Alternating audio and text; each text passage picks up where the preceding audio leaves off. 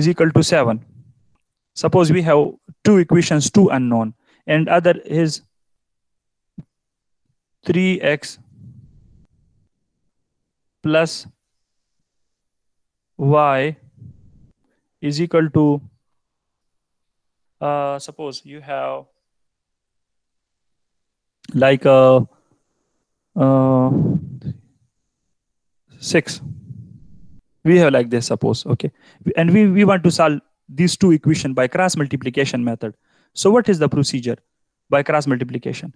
Step number first you shift 7 to this side and 6 to this side. This is your step number first okay? Shifting the constant to the right the, to the left hand side. So we will get x plus 2y minus 7 is equal to 0 and we will get 3x plus y minus 6 is equal to 0. Okay, so we will get this.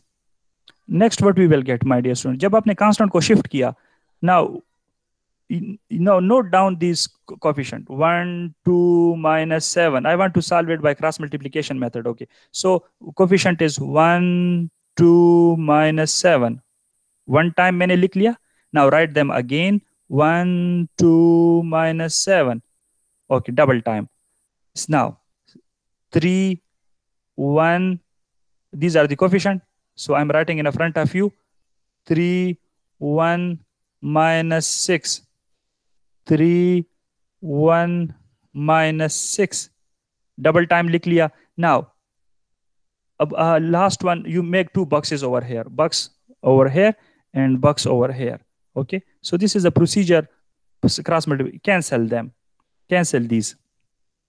What were the what were the unknowns? X was the unknown. Here you can see x is the unknown y is the unknown and here uh, write one. This is the procedure okay? Sir what are you doing? I want to tell you the basics of cross multiplication Be before we solve that question. Cross multiplication method.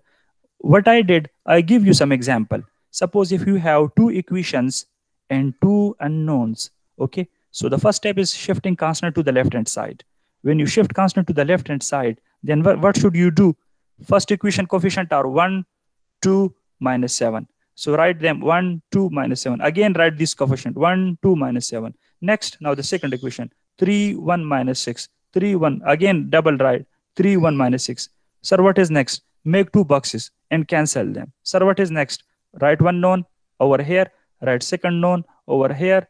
Write one over here. Sir what is next? Next is simple. You write x. When you write x okay. When you write x multiply this and this together. So minus 12 you will get minus 12 okay sir what is next? Then you put minus sign. Okay sir then then multiplying this. Uh, 1 minus 7 so you will get minus 7 over here you minus, you multiply them like in this way. Okay sir what is next? Put equal sign. Okay then you say uh, there is y. You should write y. Okay this multiply by this minus 21 sir what is next? This multiply by this. You, okay you should put sign minus and uh, minus 6 minus should be there okay? Put then sir put equal sign.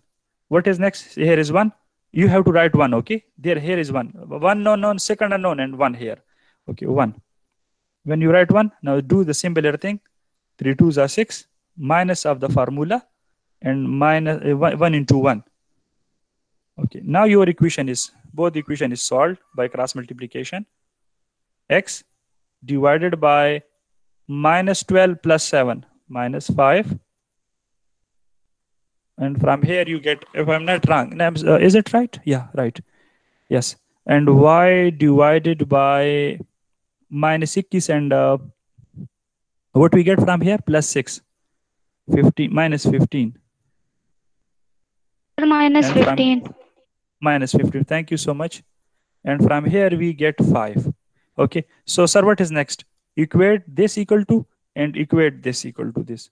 So you will get your answers. Let me do this is very basic. And this is recorded in the video. The moment main thing is that it is recorded. So x is equal to when you equate a minus 5 and uh, minus 5 is equal to 1 over 5 when you equate them so mean x is equal to minus 1 x is equal to minus 1. If uh, I am not wrong, if I haven't done any mistake, minus 6. Okay, so minus 6. Okay. Minus 5, okay. Huh? Oh.